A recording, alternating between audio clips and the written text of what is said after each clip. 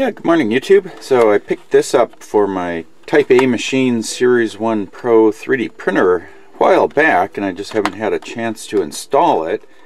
But what this is, is the uh, auto bed leveling sensor. So it goes on the side of the print head and senses the distance to the metal plate here in the in the flex plate.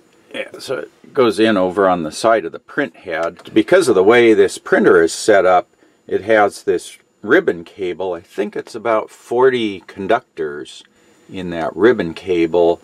All you have to do is plug this into the little circuit board on there.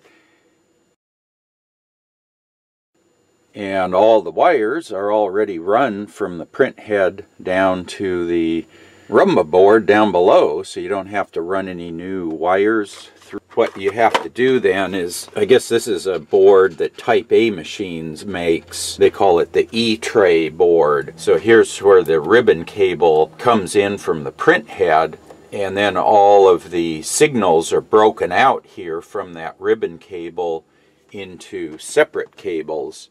And then this is the cable that runs the proximity sensor from the small board over to the rumba board.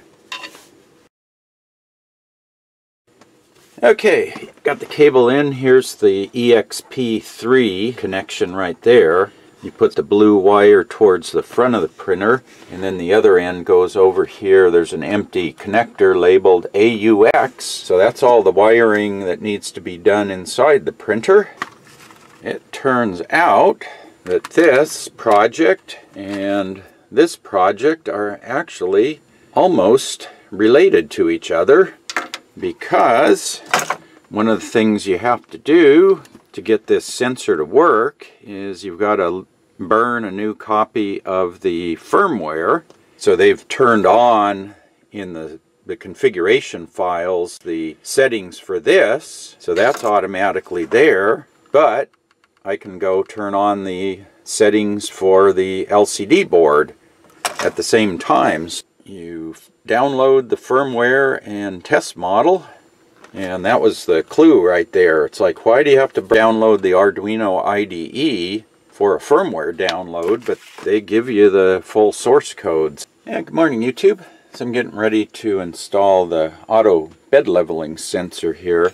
So what you have to do is unscrew the fan from the bracket here, and then you unscrew the bracket from the extruder. The uh, bed level sensor bracket is screwed onto the back of the fan bracket. And then if I can get in there, I'll try to get these started in there. Okay, there we go, YouTube. Actually what I did was I ran the fan wires between the extruder heat sink and the bed level sensor.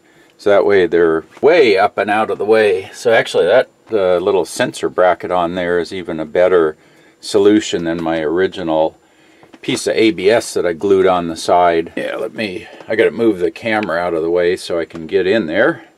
Okay, I've got the uh, bed level sensor or the proximity sensor plugged into the back connector there. Yeah, I think you want to stay on this side of the X cable and I got it behind all of the other wires back there so that'll make them easier to get out. So I think that's pretty much there. Uh, the only thing I have left to do is play with the firmware.